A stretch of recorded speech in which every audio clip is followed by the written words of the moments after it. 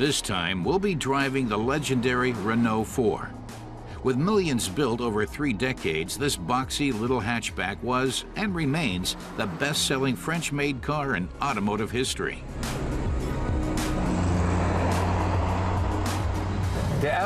Car tester Christoph Bauer tells us the R4 was Renault's model for the masses and their challenge to the VW Bug, Italy's Fiat 500, and Citroën's Deux Chevaux. It was practical, robust, and universally affordable, like a pair of blue jeans. Renault's director general at the time had a clear vision for this car for the masses. It had to be robust, so the prototypes were subjected to thorough test drives, covering nearly 3 million kilometers in total before the model's launch. They were driven through the Sahara, the snows of Minnesota, and the mountain tracks of Sardinia. The project was codenamed Marie Chantal. Postcards arrived at Renault headquarters from all over the world with messages like, Marie Chantal and her children are doing well. Among the endurance tests was one for highway worthiness, an early indication of ambitions for the R4 to become international bestseller. It was the first French car to debut not at the Paris Motor Show, but at the International Motor Show in Frankfurt in 1961.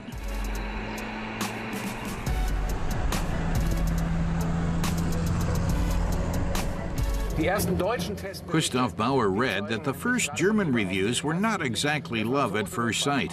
One German critic wrote that the French had grown sober and functional with their car.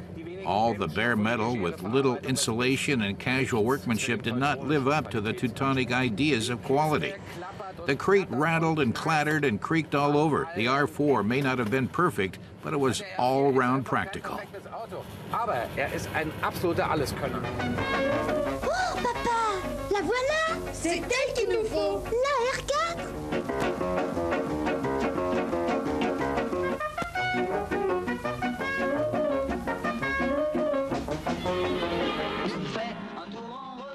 Adventurers, clowns, and mail carriers.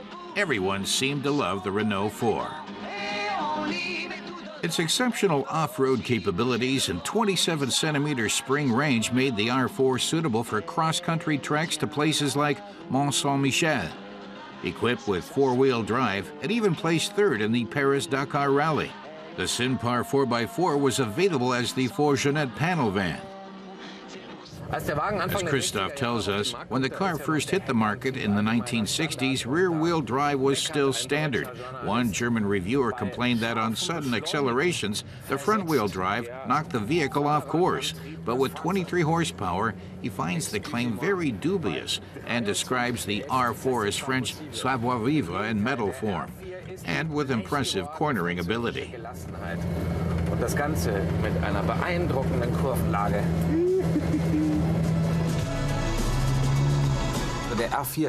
He says the R4 is a genuine minimalist, with only the essential instruments in an unpadded dashboard.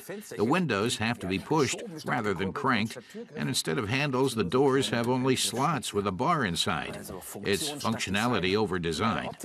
The primary consideration for the exterior was for it to look better and more up-to-date than Citroën's quaint Deux Chevaux, and more practical than Renault's own Dauphine.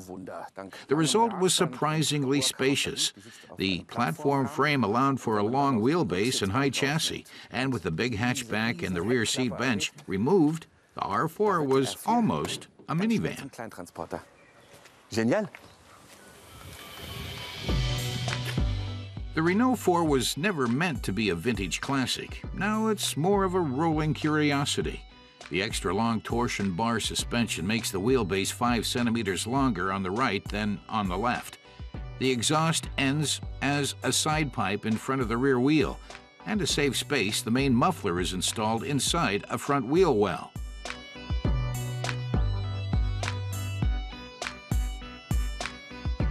The body panels are simply screwed into place, so any car parts dealer can easily replace them.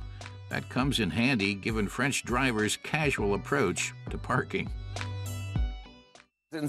Christoph says the R4 stuck with tried and tested drive technology, the same four-cylinder engine that drove the 4CV and the Dauphine. But for the R4, it was mounted in front instead of the rear. And to avoid major redesigns, the transmission was located here in front of the engine. It gained a reputation as long-lasting and very durable. An interesting detail is that the models up to 1975, if the battery ran low, the driver could manually start the car using the crank from the jack. It goes in here. A relic of days long past.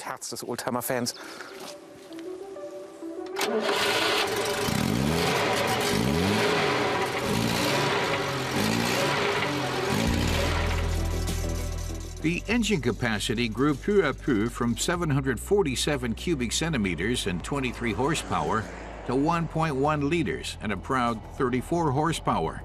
This R4 boasts 26 and a half horsepower and speeds up to 110 kilometers per hour.